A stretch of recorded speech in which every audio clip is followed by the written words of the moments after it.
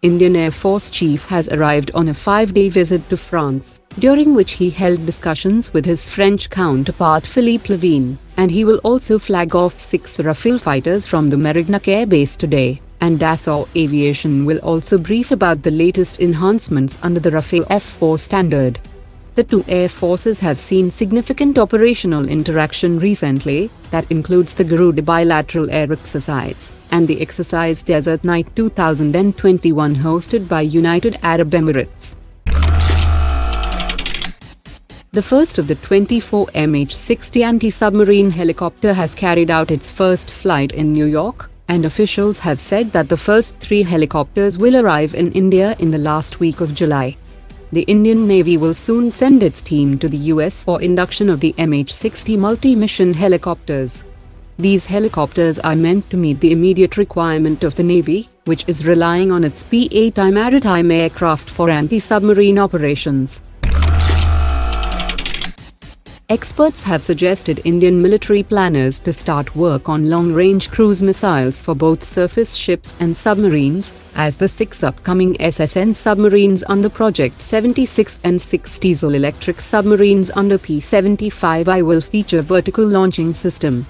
The DRDO is working on a long-range cruise missile, but its range of 1000 kilometers might not be enough to keep Indian SSNs to operate from safer locations due to which a LRLACM Block 2 variant with a range of more than 2,500 kilometers is required to enhance India's non-nuclear deterrence measures, and must also develop next-generation cruise missiles with an extended range of 4,000 kilometers that will benefit Indian Navy's strike capabilities and also enhance its anti-access and area denial capability in the Indian Ocean and South China Sea.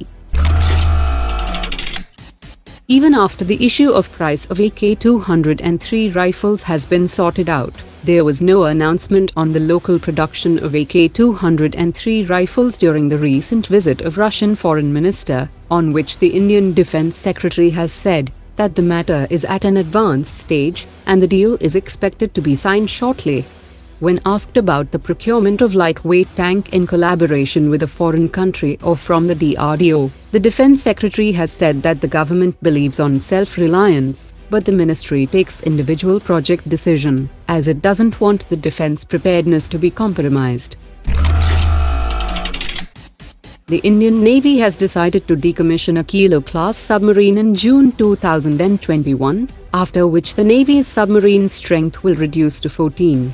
Mazagon Docks Limited has made an offer for three more Scorpène-class submarines, but latest reports indicate that the Navy is not interested in procuring additional Scorpène units, and has also rejected the offer for six improved Kilo-class submarines from Russia, and is focused on its future conventional submarines under Project 75I with foreign collaboration under Make in India. During a virtual meeting on India-Vietnam defense cooperation, Indian officials have expressed to their Vietnamese counterpart that Indian shipyards are willing to work with Vietnamese shipyards for construction, repair and maintenance of warships.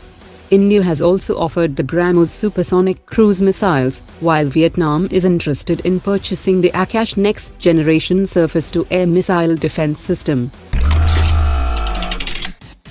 Chinese media has reported that China is all set to upgrade the engines of the J-20 fighter jet with 2D thrust vectoring nozzles, and has claimed that it will give it an enhanced maneuverability and stealth capability, and will surpass the American F-22.